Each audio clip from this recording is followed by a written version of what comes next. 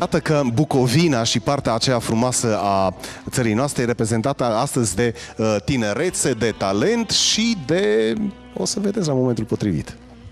Rareș, eu mai invit pe cineva la petrecerea noastră, dacă aș putea să o numesc Este o așa. petrecere pentru că abia acum putem să vorbim despre tematica acestei emisiuni. Petrecerea la români. La români. Petrecerea Ca la la români. noi, la nimeni. Eu îți propun să invităm în familia noastră, pentru prima dată, taraful Marin Alexandru. Taraful Marin Alexandru în premieră la familia favorit. În aplauzele voastre, bineînțeles. Bineînțeles. Bună seara, bună seara! Trebuie să recunosc că admir de ceva vreme bă, talentul acestui uh, taraf și uh, tot ceea ce au realizat până acum din punct de vedere muzical și trebuie să vă și recunosc că este o onoare pentru noi și o bucurie să-i avem ca invitați care au spus da în uh, uh, sânul familiei favorit, doamnelor și domnilor, o emisiune care astăzi cu siguranță va fi una pe placul și spre deliciul câtor mai mulți dintre dumneavoastră, cei care ați uh, lăsat televizoarele pe Favorit TV. Uh, mergem mai departe. Domnul Marin, bună seara, bună seara, bine ați Bună, venit bună la seara. petrecerea noastră.